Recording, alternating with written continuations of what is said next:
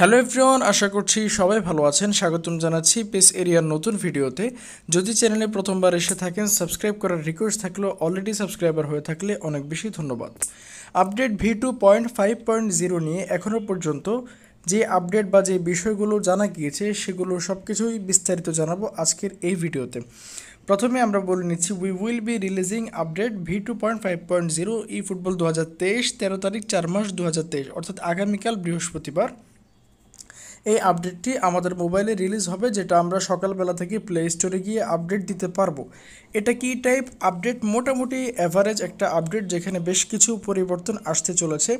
সেগুলো বলার আগে বলে নিচ্ছি, আমরা একটি ফ্রি চান্স ডিল পাবো, যেটা গেম ইনস্টল করার পর থেকে আমাদের মোবাইলে, আমাদের গেমের ইনবক্সে অ্যাভেলেবেল হবে। আমরা রিসিভ করে একটি ফ্রি চান্স ডিল বা ফ্রি বক্স ড্র করতে পারব, যেটা ফ্রি হিসাবে বা আপডেটের উপহার হিসাবে আসবে।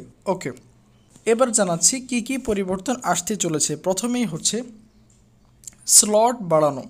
অর্থাৎ আমরা যদি এখন মাই টিম থেকে প্লেয়ারে যাই, আপনারা দেখতে পাচ্ছেন যে আমাদের এখানে পাঁচশো প্লেয়ারের স্লটস রয়েছে, যেখান থেকে আমি দুশো বিরাশি জন প্লেয়ার ক্রয় করেছি বা আমার স্কোয়াডে দুশো বিরাশি জন আছে। এই প্লেয়ার স্লটসটাকে বাড়ানো হবে। ওকে এই প্লেয়ার স্লটসটাকে বাড়ানো হবে।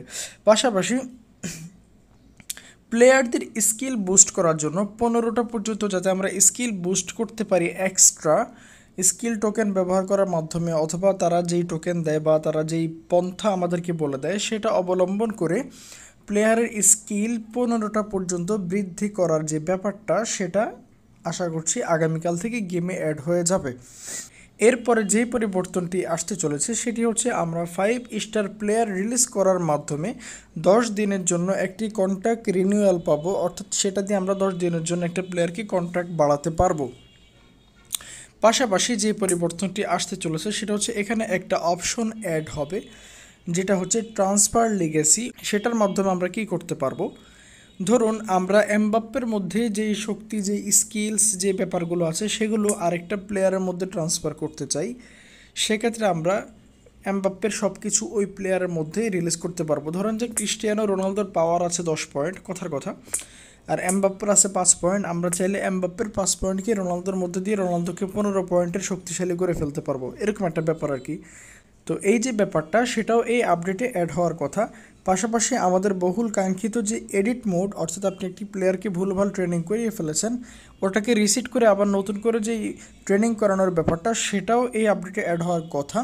তবে কোনামি থেকে আসলে একবারে কনফার্ম শিওর নিউজ পাওয়া যায়নি বাট আমরা আশা করতেছি যে এই আপডেটে এই বিষয়টা অ্যাড হয়ে যাবে। এই ছিল মোটামুটি এখনও পর্যন্ত লাস্ট যে বিষয়গুলো জানা গিয়েছে update video point five point zero নিয়ে। আরও কিছু যদি আমরা জানতে পারি, আপনাদেরকে অবশ্যই জানিয়ে দেব। দেখা হচ্ছে পরবর্তী ভিডিওতে আল্লাহ হাফিজ।